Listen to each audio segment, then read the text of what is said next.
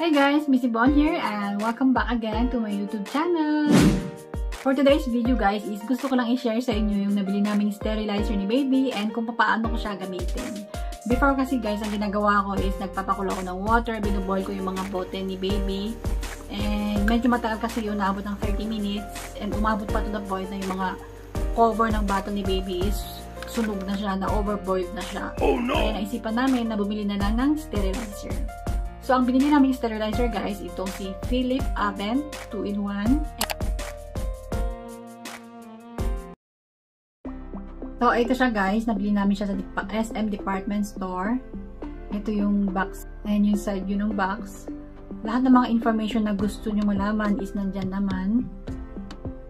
Nakasulat sa iba-ibang lingwa. Ayan, natural stream sterilizing, etc. etc. 99.9% kills germs daw.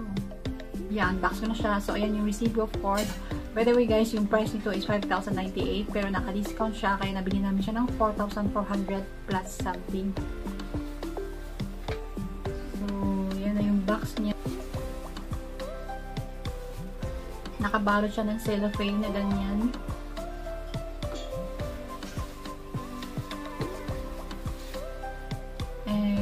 Course, meron siyang manual, nakasulat din sa iba-ibang lingwahe.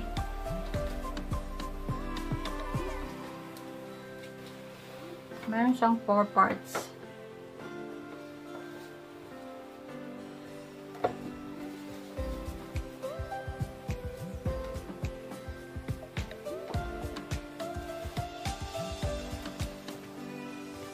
And yung paano siya gamitin is madali lang naman siya sundan. Nandiyan na sa manual niya.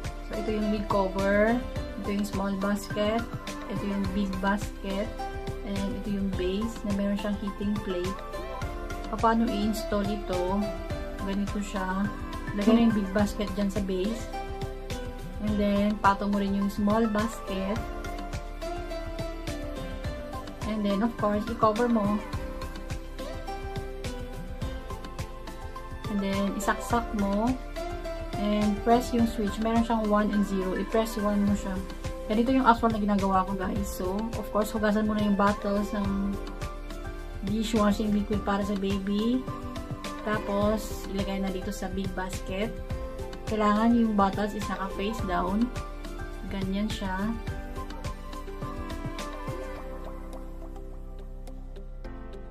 Yung big basket na to, kasha yung 6 bottles 5 bottles lang kasi ang nagamit ni baby ngayon, kaya 5 bottles lang yung lalagay ko. Then after that, ipato mo yung small basket.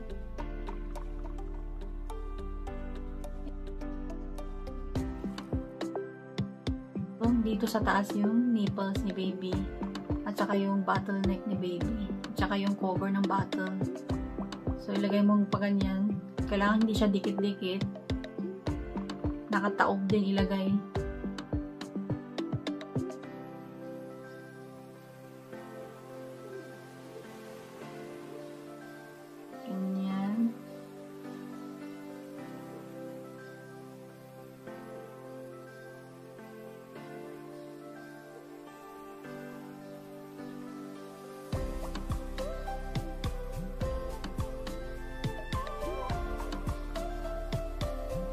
Tapos, after that, takpan mo na lang.